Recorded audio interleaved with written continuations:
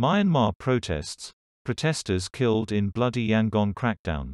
Security forces used live rounds against protesters in Hlaing Tharyar. A night protest took place in another part of Yangon on Sunday.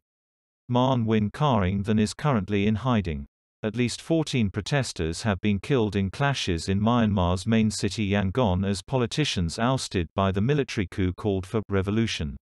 Security forces opened fire in the Yangon area of Hlaing Tharyar as protesters used sticks and knives. The junta declared martial law in the area after Chinese businesses were attacked.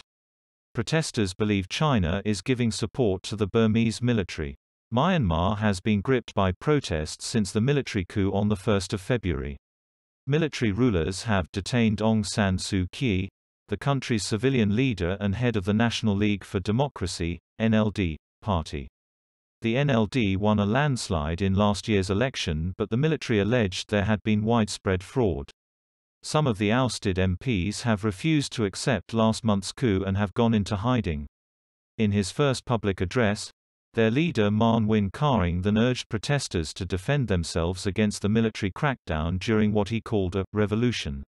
This is the darkest moment of the nation and the moment that the dawn is close, he said. What happened in Hlaing Tharyar? The junta has declared martial law in Hlaing Tharyar and neighboring Shwepyitha after China said Chinese factories in the area had been targeted and demanded protection.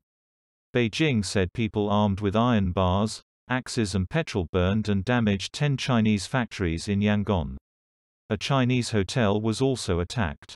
On its Facebook page the Chinese embassy said some factories were looted and destroyed and many Chinese staff were injured and trapped.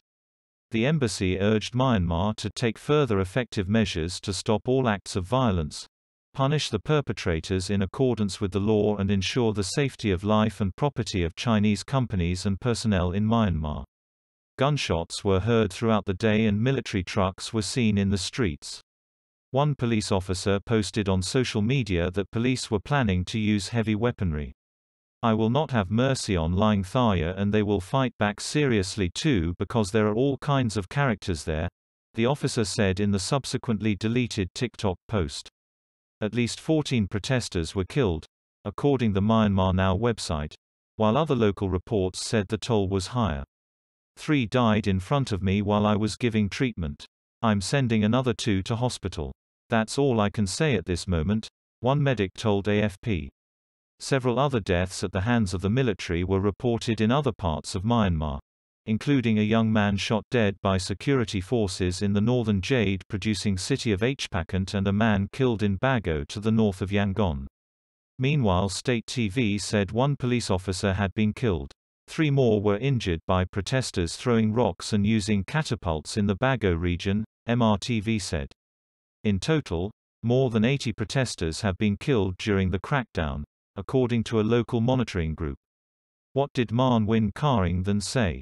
NLD MPs who managed to escape arrest after the coup formed a new group, the CRPH, or Committee for Representing the Union Parliament. Mahn Win Khaing Than was appointed the CRPH's acting head and the group is seeking international recognition as Myanmar's rightful government.